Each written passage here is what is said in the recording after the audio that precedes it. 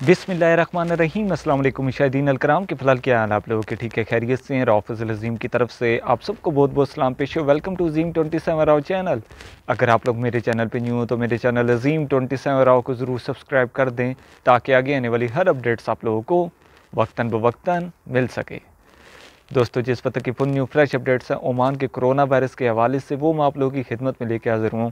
اور ابھی جو منسٹری آف ہیلتھ کی طرف سے پچھلے تین دنوں کے جو کرونا کے کیسز ہیں، وہ بتائے گئے ہیں۔ اور الحمدللہ جو کرونا کے مریضوں کی تعداد ہے، وہ عمان کے اندر کافی کم ہوتی جا رہی ہے۔ آپ لوگ دیکھ سکتے ہیں ٹائمس آف عمان کے اندر آرٹیکل شائع ہوا۔ اس آرٹیکل کے مطابق پچھلے تین دنوں میں عمان کے اندر ایک سو بیاسی نئے معاملے آئے ہیں کرونا وائرس کے۔ اور اب ان ایک سو بیاسی نیو کیسز کی وجہ سے آپ لوگ دیکھ سکتے ہیں، عمان کے اندر ایک لاکھ اٹھائیس ہزار چار سو بہتر پرسنس کو ہو گیا کرونا وائرس۔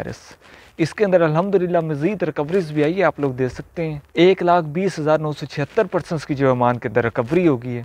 اس کے علاوہ یہ جو ٹائمز آف عمان کے اندر آرٹیکل چھایا ہوا، اس آرٹیکل کے مطابق پچھلے تین دنوں میں عمان کے اندر چار مزید پرسنس کی ڈیتھ ہوئی ہے کووڈ نائنٹی کی وجہ سے۔ اور یہ چار مزید ڈیتھس ملا کے آپ لوگ دیکھ سکتے ہیں عمان کے اندر ایک ہزار چار سو پچانوے پرسنس کی جو ہے ڈیتھ ہوگی۔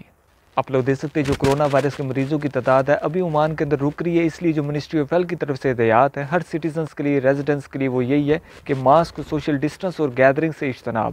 یہ تین چیزیں رکھیں گے تو انشاءاللہ جو کیسز ہیں عمان کے اندر وہ بہت جلد زیرو ہو جائیں گے۔ تو یہ تمام اپڈیٹس تھی اس وقت کی عمان کے والے سے۔ انشاءاللہ جیسے اور بھی اپڈیٹس آتی ہے ویسے انشاءاللہ آپ لوگوں کے ساتھ شیئر کریں گے۔ بس یہی کہیں گے آپ لوگوں سے کہ اپنی حفاظت کریں اور رو فضل عظیم کو دیجیے اجازت۔ اللہ حافظ۔